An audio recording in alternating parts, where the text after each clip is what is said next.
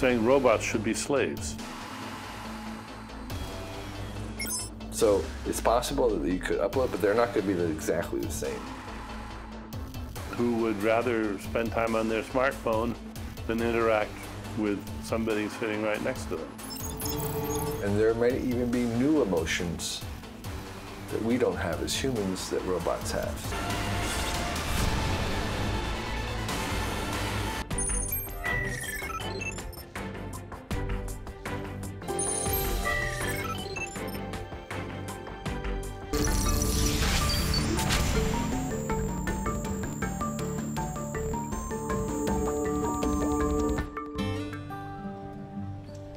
자유와 낭만의 도시 파리.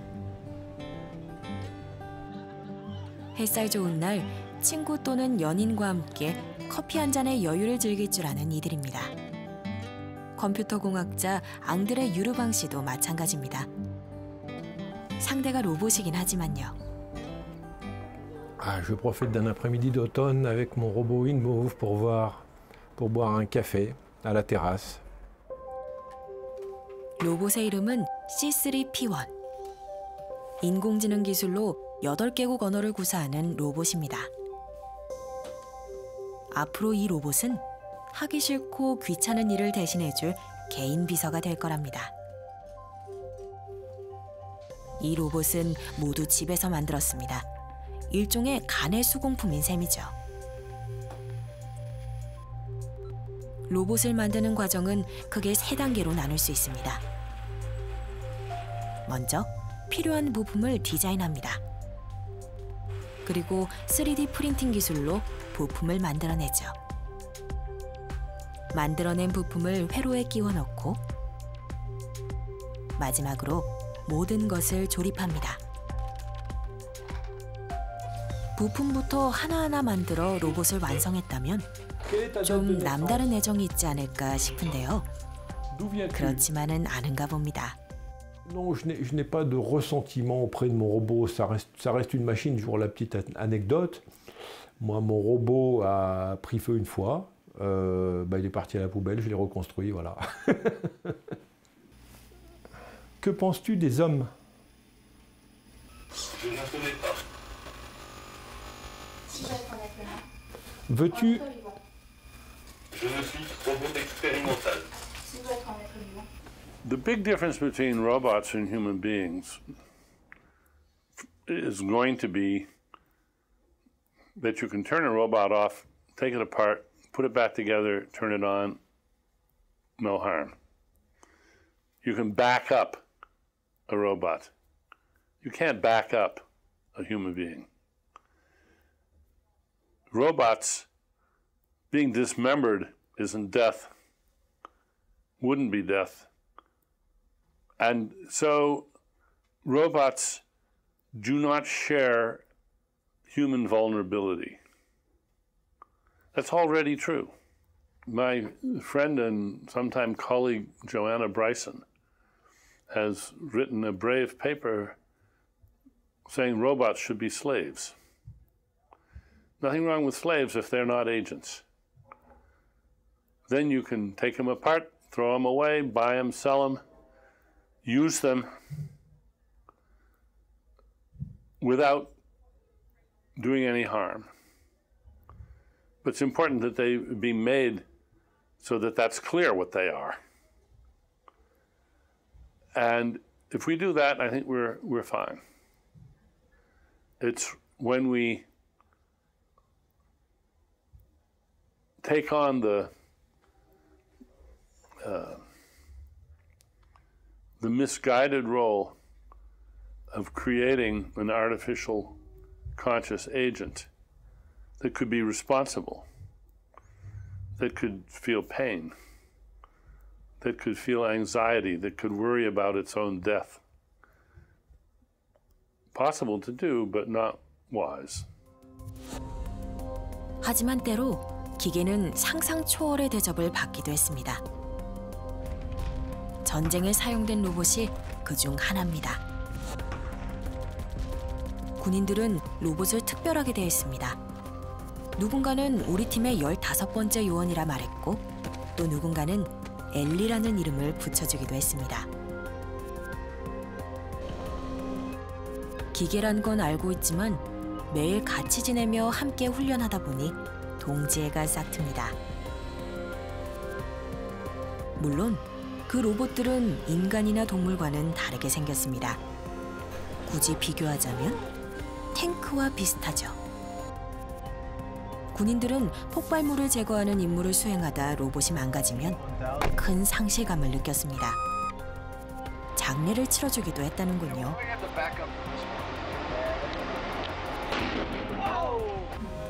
단순한 사물을 잃었을 때와는 큰 차이입니다. 특별한 상호작용을 하지 않았더라도 사람들은 기계의 연민을 느낍니다. 한 회사의 로봇 테스트 장면입니다.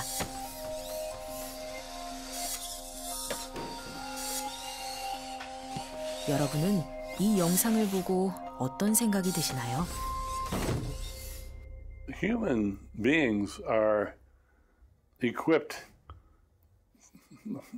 by their genetic background, just as living mammals, to be not just sociable, but to crave familiar companionship and to endow the familiar with potent features, even when the objects are not remotely like agents. Some people develop a very strong personal attachment to an automobile or a, or a motorcycle. I confess to having separation anxiety from a sailboat that I had to sell recently. And I, I, I loved that sailboat. Um, many people love their boats. Boats aren't conscious, they're not agents. But when we've been through a lot of experiences together, uh, we, we sort of see them as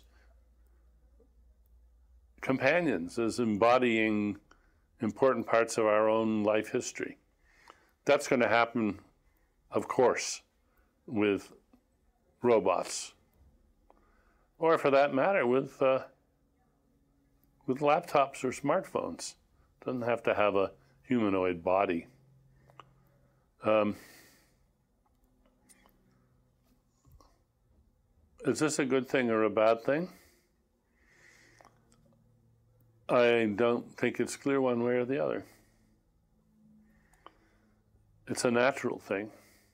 So there are some videos on the internet of people who were testing the Boston Dynamic robots, which are in the shape of animals, four-legged animals like a dog or a horse, and to show how stable they were, they were trying to kick them over.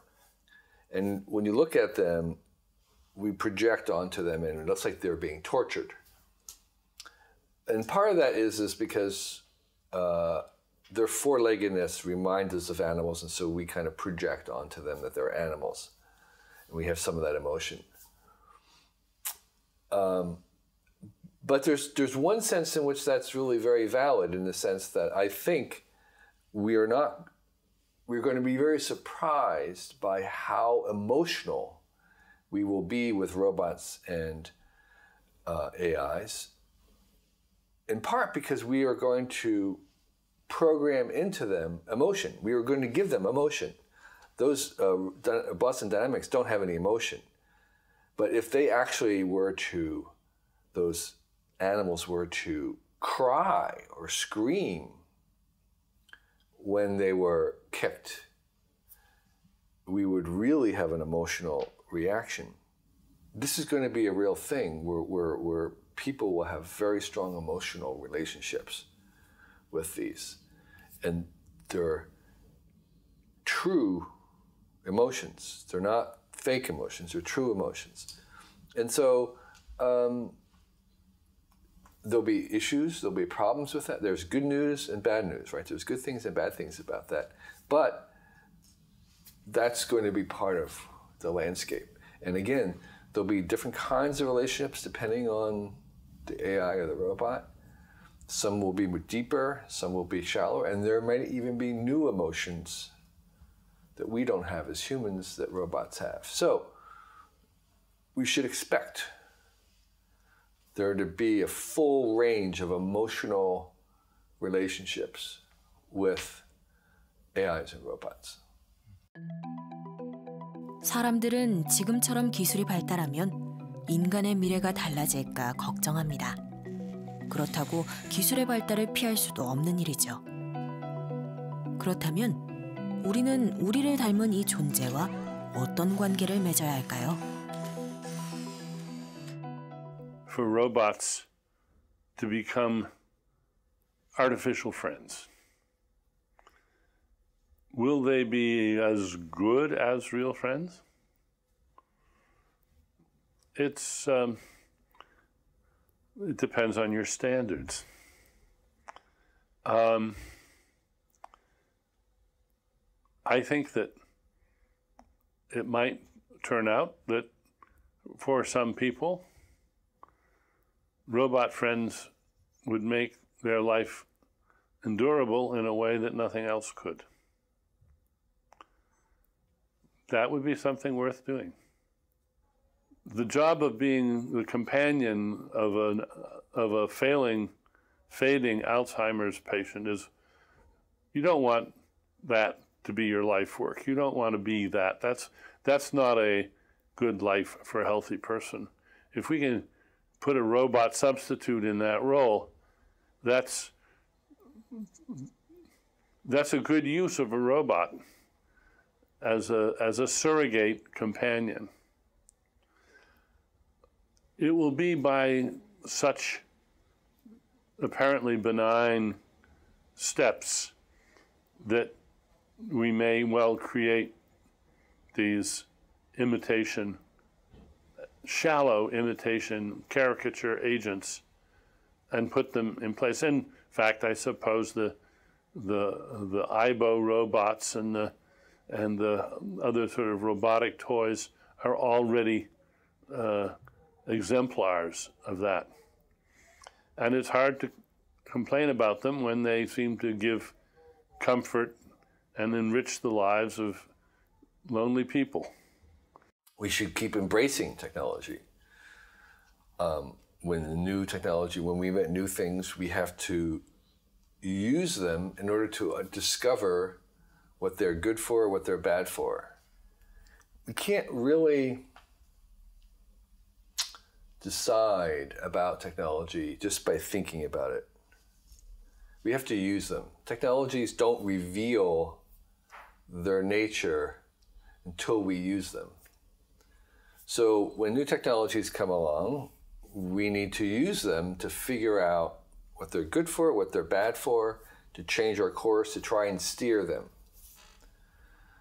If we try to prohibit them, we don't get to steer. We don't get to influence them. So we have to embrace the new technologies as much as possible. Respect is not something in the future, respect is something already present. And um, we have to respect it in the way that we respect an animal, right? You, you, you treat a dog or a horse in a respectful way. It's other, it's not like it's superior. It's not necessarily that it has to be smarter than us or more powerful. It just has, it, it demands its own respect. And so technology already should be respected. 미래는 이미 와 있다. 널리 퍼져 있지 않을 뿐이다. 미국의 SF 작가 윌리엄 깁슨의 말입니다. 스스로 판단해 길을 달리는 자동차. 사람들의 질문을 알아듣고 답하는 스피커. 스포츠 뉴스를 알려주세요. 오늘의 브리핑 시작합니다. 인간을 닮은 이 존재는 이미 우리 생활 속 곳곳에서 찾아볼 수 있게 되었습니다. 그리고 생각보다 빠른 속도로 퍼져나가고 있죠. 많은 전문가들은 인공지능이 삶의 풍경을 바꿀 거라 이야기합니다. 정확히 말하자면 인공지능과 사람이 함께 그려갈 풍경입니다. 늘 그렇듯 기술은 사용하는 사람들의 몫이니까요. 여러분들이 상상하는 우리의 미래는 어떤 모습인가요?